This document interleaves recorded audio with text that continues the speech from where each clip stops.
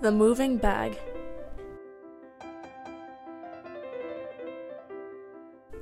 It was a miserable, foggy, gloomy day as I groggily opened my eyes in my bed. Ugh, it's a perfect day to snuggle under my soft green quilt, but my mom would never let me do that. Unwillingly, I trudged out of bed. Luckily, my closet had comfy red sweatpants that were perfect for today. I threw on my sweater and sweatpants.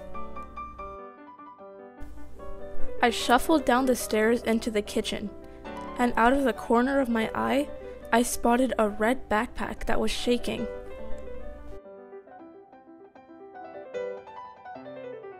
I retraced my steps back into my room because I was confused and scared that it was shaking.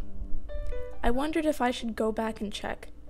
What if there was a bunny, dog, cat, bird, or hedgehog in there? Eventually, I couldn't fight the urge to see what was inside. I inch closer to the bag and wonder why it's so quiet and mysterious.